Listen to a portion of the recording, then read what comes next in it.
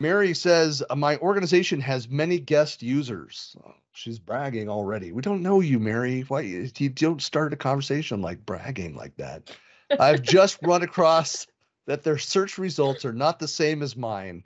Uh, owner admin. Guests are not seeing all or files. Is there a way that they can see the file search results? Is it a permissions issue? It's important that guests get to search and find files too. Thank you. You're welcome. Yeah, I had some notes on this. Uh, I've run into this before. Um, is kind of back up to another question that we answered today about um, permissions, checking the permissions on things.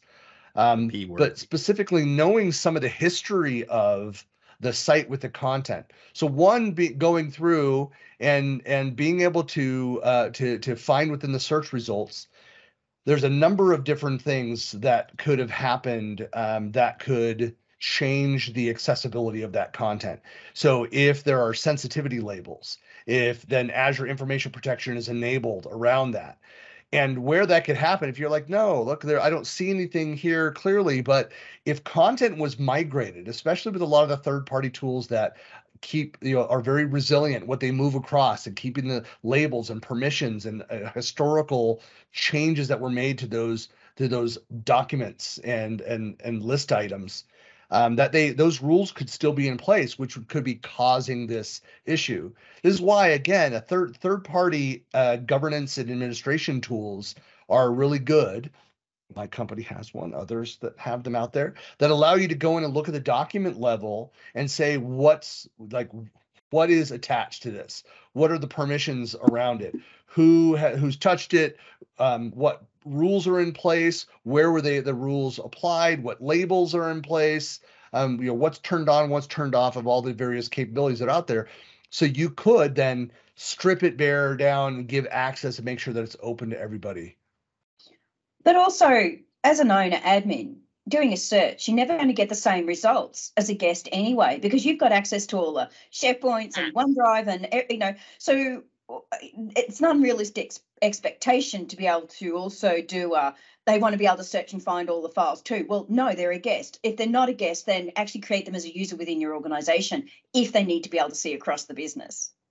Well, and that's all to your point. It's always going to be the case. Even people the four of us are in the same company. We're going to get a different view of things based yeah. on our permissions, based yeah. on our, the access levels to everything that we're seeing there. So if if the complaint here is that here there's these 10 files and these guest users should have access and I've given them permission, but they still don't have access, it's because there are other rules at play.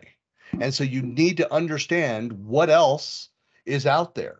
And there's a number of places that you need to go and look to understand why for those 10 files that they should have access to, why they don't.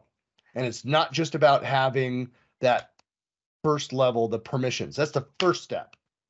Then it's sensitivity labels. Then it's other information protection rules and any other lifecycle management things which could restrict their view viewability.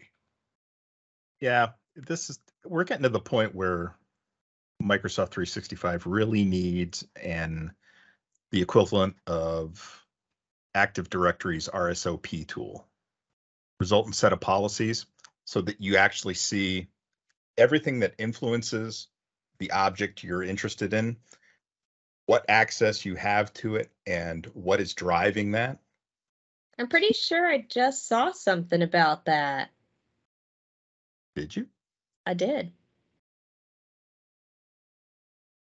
I did. I'd have to look up the link real quick to find out what it was, but I Oh, did. no, I'd hate to, you know, add effort to a snarky comment. We'll put it in the links as part of the recording. If Yeah, well, Did you get a absolutely. That's mailing right. on that? It'll, it'll be there eventually. Yeah, yeah. Uh, Microsoft well, Purview. Ah, yes, the change. Oh yeah, the new the new changes, the stuff that we've uh yeah, we not we've not yet seen questions around, but yeah. So that's that is Microsoft's new branding uh where they've combined Azure information protection and other compliance uh, and records management capability uh the the the you know into one solution So you have one place to go to find all those different pieces. So that would be another place. I don't know that it does exactly what we've described, but that's something that I definitely need to go do some research on. I am. Yeah. Yeah. So Thanks for the link I, sharing. I feel like that is that's the gist of where they're headed is trying to basically a one-stop shop around compliance. Very cool. Well, that that folks is what is in the link, you know, down below. Yeah.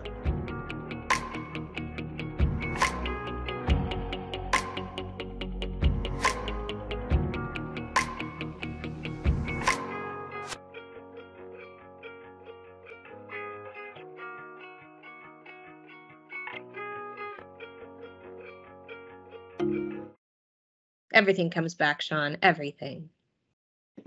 The circle of life. It's the circle of The life. circle of life. I always see things come back, and I'm like, ah, wait, I know what you're talking about.